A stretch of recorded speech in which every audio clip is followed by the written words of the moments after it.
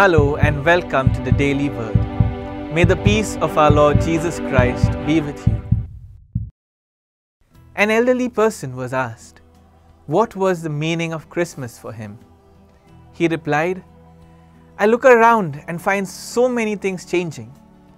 The dialer phone that itself was so rare and making a phone call was such a difficult thing, today is eased with the high pace of technology of the mobile phones and even video calls.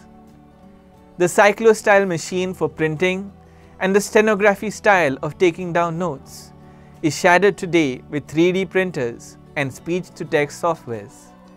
The long tapes of recorder cassettes and the oversized gramophone records that would play my favorite music as well as the news I heard on my old radio are given a fresh face with Spotify and YouTube. I see things changing all around me.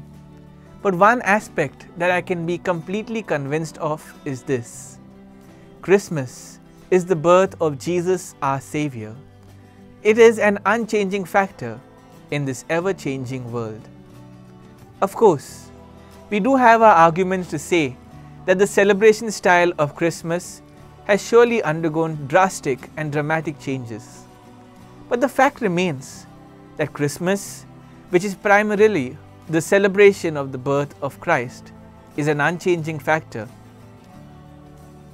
In this dramatically changing world, we are set to celebrate the greatest revolutions of all time, Christmas. This revolution started in the most unlikely places of all, in an ordinary stable outside a forgotten village called Bethlehem. It involved three persons Jesus, the baby, Mary, the Virgin Mother, and Joseph, the just man. Hardly glamorous, significantly unnoticeable, and glaringly simple people. Yet, the revolution that began from this table has had the greatest effect on humanity. His birth was to ring in a political revolution, Jesus becoming the King of the world, a social revolution unifying all classes and caste and races, an economic revolution, bringing hope to the poor and the oppressed, a moral revolution, emphasizing on intentions of the heart and the mind, and most importantly, a spiritual revolution, forgiveness and salvation for all ready to receive Him. Christmas is a great time of celebration but let us never forget Christ. The celebration of the birth of baby Jesus demands space in our hearts.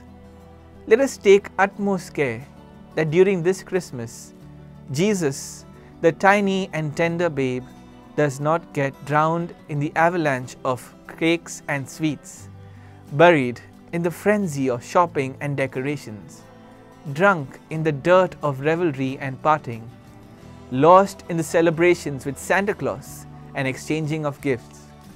Rather, let us make sure that Jesus, the precious and beautiful infant, is held close to the heart and given a pledge of our life and love, is lavished with kisses of our true promises and renewed consecration, is showered with true smiles of our love for Him and His Word, His Eucharist and His Church.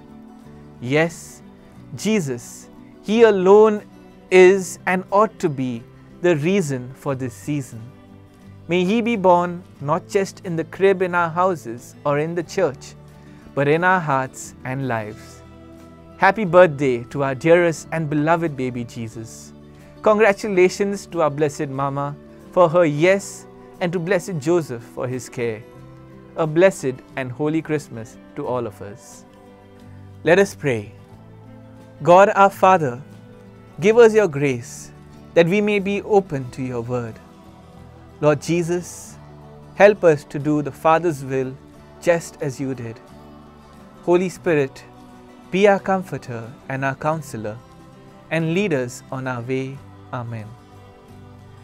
Thank you for joining us on the Daily Word.